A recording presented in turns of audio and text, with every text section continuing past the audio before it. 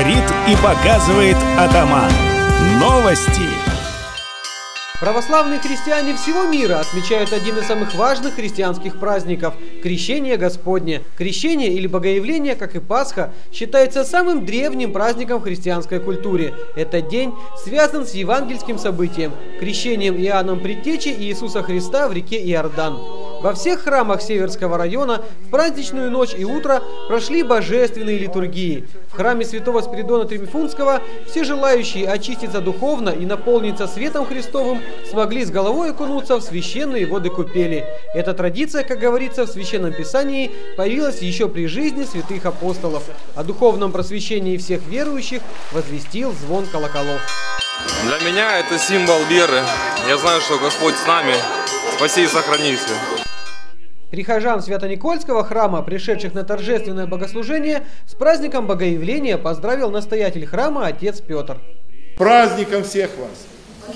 На всех вас призываю Божие благословение. Храни вас всех Господь, кто пришел в сей день, в сей праздник, помолиться, поблагодарить Бога и спросить благословения Божьего и почерпнуть той воды, которая в каждом храме в этот великий праздник освящается. После совершения чина водосвятия отец Петр окропил всех желающих святой водой, призывая благодать в души и сердца верующих. Считается, что вода в крещенскую ночь обладает удивительными свойствами, очищает тело, укрепляет веру и дух, сподвигая христиан на благие мысли и поступки во славу Божию. Кирилл Колодкин, Андрей Вискушенко, Алексей Концесвитний. Телерадиокомпания «Атаман». На этой неделе сразу двум школам нашего района торжественно вручили новые школьные автобусы. Учащиеся станицы Северской и Новодмитриевской пересядут в комфортабельные, современные теплые автобусы.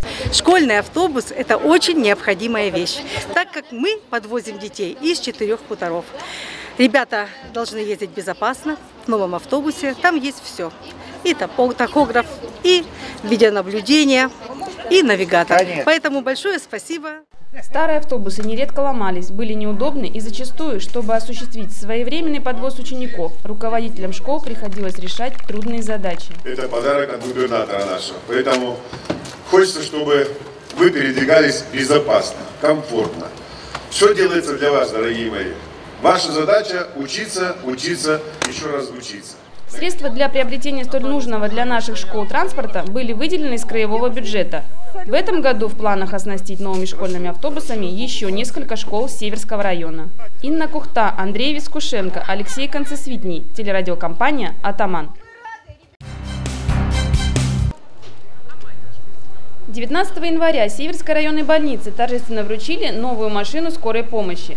Потребность в санитарном транспорте в районе достаточно высокая, и нередко техническое состояние машин не позволяет бригаде скорой помощи в считанные секунды оказывать жителям всего района квалифицированную помощь.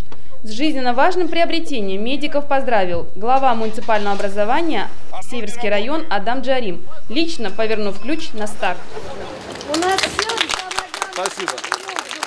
Денежные средства на приобретение кареты скорой помощи для нашего района были выделены по федеральной программе. Автомобиль оснащен всем необходимым для транспортировки больного в лечебное учреждение. Вот эту машину, которую мы получили, вот буквально позавчера, мы поставим в э, Северской э, врачебную бригаду.